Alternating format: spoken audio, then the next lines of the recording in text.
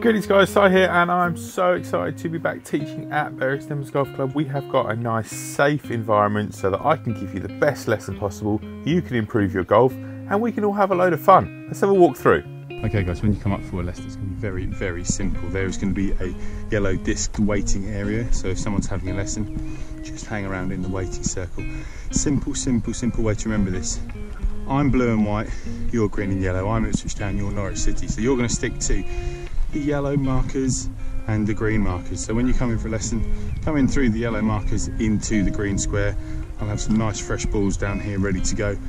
Obviously the range at the moment is nice and clear. We're going to put some targets out there, so we've got some things to aim at going forwards. But you're going to hit from inside the green square. You're going to basically stay inside this green square, and I will stay outside the blue square. That will ensure that we are always minimum of two meters apart essentially I'm going to be standing in probably one of two places, either by these white discs here down the line, so I can see your swing from this angle. Obviously I'm going to have the iPad, so if we need to get a video of your swing, we can do that and I can send that to you afterwards.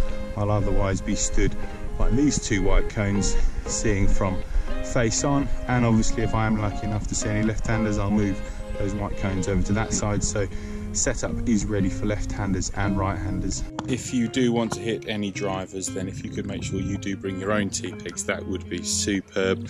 I will pick the balls up, I'll clean them, I'll make sure they're ready for the next lesson, so you don't have to touch the balls, you don't have to touch the cones, I don't have to touch the T-pegs. We can all stay safe and we can all hopefully improve. Obviously this setup is for full swing lessons, which is predominantly what I'm going to be doing, but if you want specific putting lessons, bunker lessons, chipping lessons, this system is foolproof. I can move it to wherever we need to on the great practice facilities we've got here at Bury St So if there's any area of your game you want to work on, let me know. As I can't wait for you to come down and check this out. Looking forward to seeing loads and loads of you very, very soon. Hopefully the sun keeps shining, we keep playing golf, we keep trying to get better.